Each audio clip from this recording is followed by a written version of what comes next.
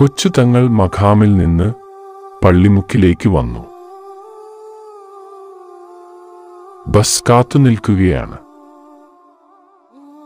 കൊല്ലം ജില്ലയിലെ ചരിത്ര പ്രസിദ്ധമായ തങ്കശ്ശേരി കോട്ടയിലേക്കാണ് ഇനി പോകുന്നത്. ഇന്നത്തെ യാത്രയിൽ ഞാൻ തനിച്ചാണ്. ഞാൻ ചിന്നക്കടയിലേക്ക് ബസ് കയറി. മുമ്പ് ജോനകപ്പുറം മസ്ജിദിൽ പോയ അതേ റൂട്ടാണിത്. ഒരുപാട് പഴക്കം ചെന്ന കെട്ടിടങ്ങളുണ്ടിവിടെ തങ്കശ്ശേരിയിലേക്ക് ഇവിടെ നിന്ന് മൂന്ന് കിലോമീറ്റർ സഞ്ചരിക്കാനുണ്ട്. ഞാൻ നടക്കാൻ തീരുമാനിച്ചു. കടൽ തീരത്തിനടുത്തെ ജീവിതം കണ്ട് ഞാൻ മുന്നോട്ട് നടന്നു.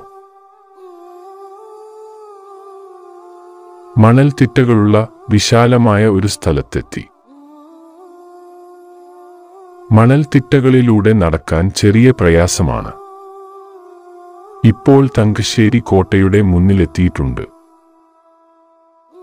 ഗവൺമെന്റിന്റെ എഴുത്തുകളുള്ള ഫലകം ഇവിടെ കാണുന്നുണ്ട്. പക്ഷേ അതിൽ എഴുതിയത് ഒന്നും കാണുന്നില്ല. ഞാൻ കോട്ടയുടെ അടുത്തേക്ക് നടന്നു. പണ്ടുള്ള കോട്ടയുടെ അവശിഷ്ടങ്ങൾ മാത്രമാണ് ഇന്നുള്ളത്. കൊല്ലം നഗരത്തിൽ. അറബിക്കടലിന്റെ തീരത്ത് തങ്കശ്ശേരി ബീച്ച് ടൗണിൽ കടൽ തീരത്തിന് അഭിമുഖമായാണ് കോട്ട നിലകൊള്ളുന്നത്. കേരളത്തിലെ ഏറ്റവും വലിയ രണ്ടാമത്തെ തുറമുഖമുള്ളത് കൊല്ലത്താണ്. സെന്റ് തോമസ് ഫോർട്ട് തങ്കശ്ശേരി കോട്ട എന്നും ഇത് അറിയപ്പെടുന്നു. ആയിരത്തി അഞ്ഞൂറ്റി പതിനെട്ടിൽ പോർച്ചുഗീസുകാരാണ് ഈ കോട്ട നിർമ്മിച്ചത്.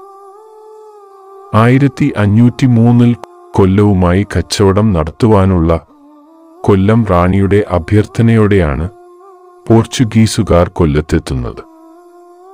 പുതുതായി വികസിപ്പിച്ച വ്യാപാരത്തിന്റെ സംരക്ഷണത്തിനായി ആയിരത്തി അഞ്ഞൂറ്റി അഞ്ചിൽ പോർച്ചുഗീസുകാർ ഇവിടെ ഒരു വ്യാപാര തുറമുഖം സ്ഥാപിച്ചു.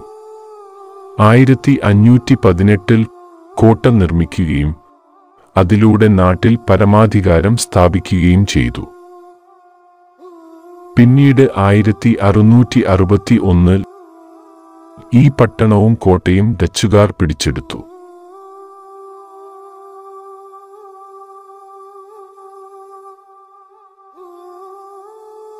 വർഷങ്ങളോളം ഡച്ചുകാർ കോട്ട കൈവശപ്പെടുത്തി. ആയിരത്തി എഴുന്നൂറ്റി തൊണ്ണൂറ്റി അഞ്ചിൽ ബ്രിട്ടീഷ് ഈസ്റ്റ് ഇന്ത്യ കമ്പനി കോട്ട പിടിച്ചെടുത്തു. ആയിരത്തി എണ്ണൂറ്റി ഇരുപത്തിമൂന്നിൽ ഈ കോട്ട ഇരുപത് വർഷത്തേക്ക് ബ്രിട്ടീഷ് സർക്കാരിൽ നിന്ന് തിരുവിതാംകൂർ പാട്ടത്തിനെടുത്തു. ഇങ്ങനെ വലിയ ചരിത്രങ്ങൾ ഉറങ്ങുന്ന അന്നത്തെ ഒരു രാജ്യമായിരുന്നു തങ്കശ്ശേരി. ഈ കോട്ട ഏകദേശം ഇരുപത് അടി ഉയരത്തിലായിരുന്നു. കാലക്രമേണ ഇതിന് കേടുപാടുകൾ സംഭവിച്ചു. ഇന്ന് അവശിഷ്ടങ്ങൾ മാത്രമാണ് കാണാൻ കഴിയുന്നത്. കോട്ടയുടെ പുനരുദ്ധാരണം നടന്നുകൊണ്ടിരിക്കുകയാണ്.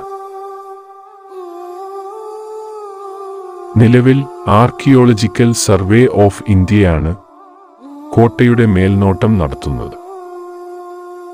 മൊത്തത്തിൽ ഈ പ്രദേശം നിരവധി ചരിത്രങ്ങൾ അന്തിയുറങ്ങുന്ന ഭൂമിയാണ്. തങ്കശ്ശേരിക്ക് അടുത്തു തന്നെയാണ് ഇന്ത്യയിലെ രണ്ടാമത്തെ മസ്ജിദായ ജോനകപ്പുറം ജുമാ മസ്ജിദ് ഉള്ളത്